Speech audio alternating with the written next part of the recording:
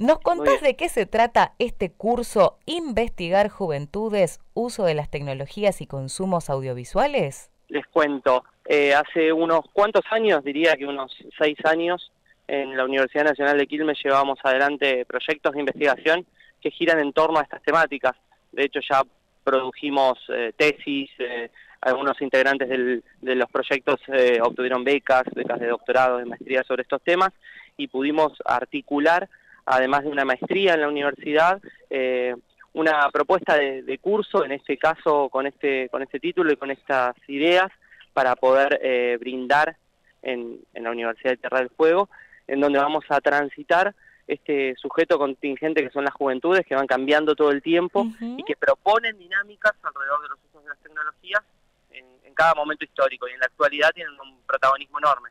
Y en este sentido, en las investigaciones que ustedes vienen realizando, ¿qué es lo que han podido observar? Supongo que la crisis o el cambio de paradigma vino de la mano de Internet. Sí, Internet en primera instancia como gran nuevo medio a principios de los 90, pero con consolidación a principios de los 2000, con lo que se denominó la Web 2.0, este estadio en el cual los sujetos, las audiencias pudieron eh, participar mucho más que antes y no ser un medio como los tradicionales que los íbamos a, ver, asistir o a leer. Y desde allí eh, los videojuegos, la telefonía móvil, las redes sociales eh, participan en dinámicas cada vez más novedosas donde el protagonismo de, las audiencias va, va creciendo y desde una paradigma de desde un paradigma desde los usos sociales de las tecnologías y huyendo a los determinismos, no creyendo que las tecnologías modifican a la sociedad, sino que somos nosotros quienes creamos dinámicas alrededor de ellas. Y en esta interacción aparece este sujeto activo, este prosumidor, generador de nuevos contenidos también. ¿De qué manera eh, estos consumos audiovisuales también nos interpelan como docentes y como investigadores? ¿Viene por ahí? Sí, sin duda. En primera instancia vamos a partir de un marco teórico que va a ubicar la, este concepto tan fuerte en las ciencias sociales que es la, juventud o las juventudes y vamos a focalizar en los consumos culturales. Allí vamos a ver que, que en la actualidad se consume diferente audiovisual que en lo que era en el siglo XX, que lo que era en la televisión, se cambia un paradigma de, del zapping, del prime time de la grilla, a pasar a, dinámicas alrededor del maratón, el spoiler, el filtrado de contenidos, las comunidades de sentido en Internet discutiendo eh, las series, las series web o, los contenidos de las redes con otros y con otras, buscando estas, estas comunidades de sentido, comunidades lúdicas también, los gamers, los youtubers, un universo que se va a abrir a diferentes pantallas que van a cambiando de nombre con con el corto tiempo, pero que va manteniendo lógicas propias del audiovisual digital. Y en este sentido, eh, ¿de qué manera estos, estos usos de las tecnologías y estos consumos, eh, cómo van modificando, pensándonos como docentes, ¿no? ¿De qué manera eh, pasa todo tan rápido, tan vertiginoso que uno creo que no alcanza a, leer o a hacerse, asirse de todas estas teorías que se están debatiendo en diferentes ámbitos académicos? ¿Cuál es este hoy eh, ese autor al que hay que con el que uno se puede referenciar o con quién podemos ir leyendo, además de la producción que ustedes vienen haciendo sin duda, pero hay un marco teórico donde digamos, bueno, desde acá es desde donde nos paramos a leer qué pasa hoy con nuestras juventudes en, en el globo.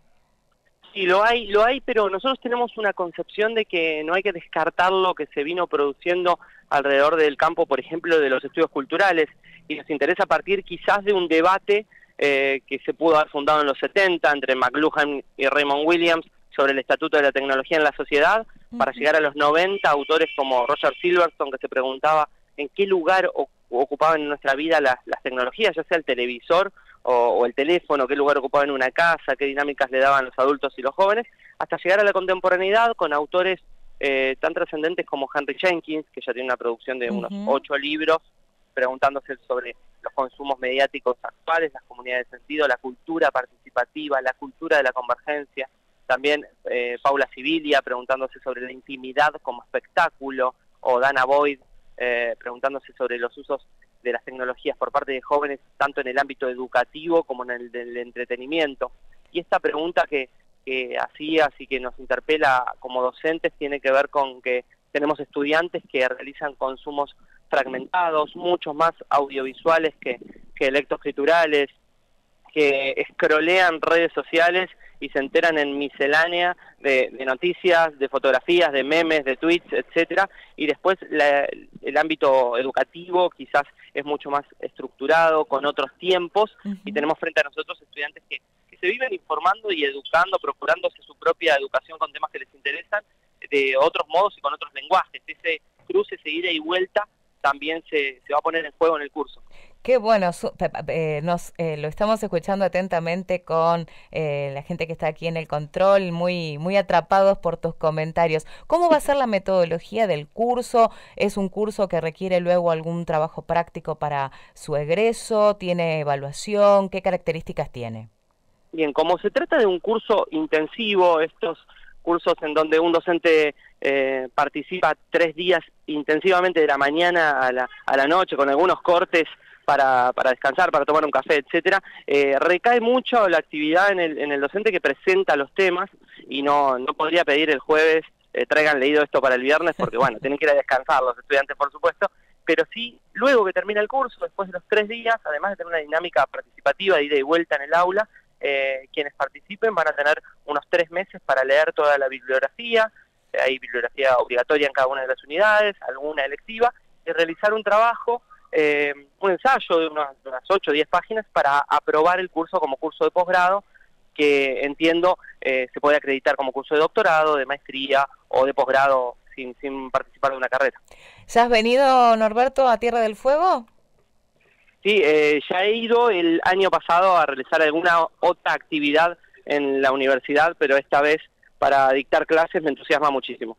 Vas a ser muy bien bienvenido, te vamos a estar esperando este próximo 14 de noviembre para dar inicio a este curso Investigar Juventudes, Uso de las Tecnologías y Consumos Audiovisuales. Te dejo el último minuto de este infodato de la UNTDF para que invites justamente a los destinatarios de este curso a participar. Bien, eh, los interpelamos, las interpelamos a docentes, a graduados y graduadas, a estudiantes a participar de este curso que nos va a proponer pensar nuestras prácticas a la luz de nuestra relación con, con los y las jóvenes y su contemporaneidad, sus identidades, sus formas de transitar este mundo en relación con tecnologías, con Internet, con videojuegos, con redes sociales, con la construcción de la propia imagen para presentarse entre los demás y, todo ese mundo de los consumos culturales que forman parte siempre de nuestra identidad en la adolescencia y en la juventud.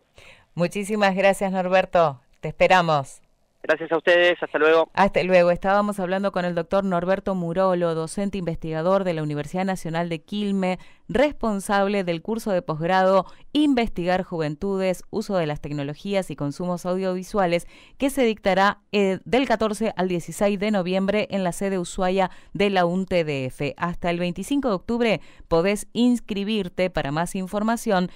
podés contactarte al email posgrado.untdf.edu.ar.